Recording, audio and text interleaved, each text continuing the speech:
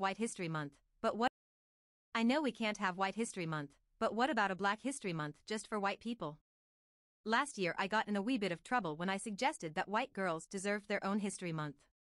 I was wrong, I understand that, and I accept it. It's called progress, guys, and I'm just trying my best to become a good person. Even now, I can't believe I ever felt the way I did a year ago. I can't believe that I didn't understand what was so offensive about asking for White History Month, or even a derivation of such a thing specifically for white girls.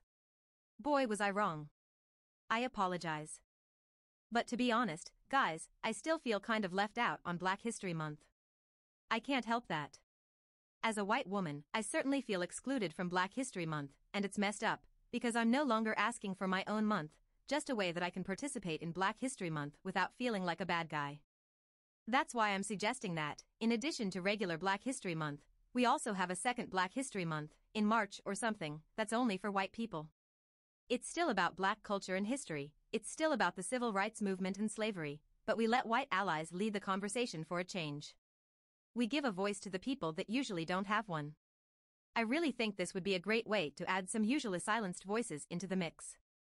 In the last year, thanks to some very scoldy friends and through the help of angry folks on Twitter, I've learned that being an ally isn't about participation, it's about sitting in silence and accepting criticism from oppressed groups.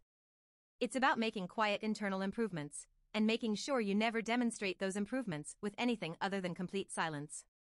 It's sympathetic stoicism, expressed with an extended, endless breath of apology. Being a good ally is kind of like being a good soldier, and minorities are like drill instructors. Sure, they're mean and they don't ever stop yelling at you, but it's helping you to release your identity and fall in line with the good ideologies. It's helping you become a good person. But even soldiers get to go on leave at some point, so shouldn't allies? Shouldn't brave racial allies like myself get one month out of the year where we can control the conversation about what it means to be black? Doesn't Iggy Azalea have at least one song that you like? Can't you just for once admit that Macklemore has done more for gay people with his music than most gay people have ever done with hashtags? Can't I have any input on what on fleek means? I'm not asking for much, I just want a single month out of the year where I get to be the one scolding people and shaking my damn head. I want to be the one that frightens people with my outrage. I want to be apologized to, just once, instead of being the one issuing apologies. After all, I spend the other 11 months out of the year constantly taking a back seat in racial conversations. Just the other day I was listening to a black friend of mine explain to her daughter who Malcolm X was, and being the good ally that I am, I chimed in with some facts. Actually, I began, as my friend's eyes glazed over, the corners of her mouth sinking, his real name was Malcolm Little. X was a pretend name that he gave himself, like a rapper. What do you mean his real name? my friend asked. Well, you know, the name he was born with. That doesn't make it his real name, she said, as I smiled at her daughter. Yes it does, I said. She quickly scooped up her child and left the restaurant.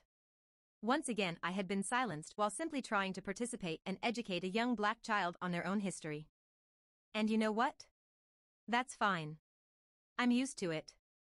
But I've put in a lot of hard work to make race better, and I deserve a goddamn month.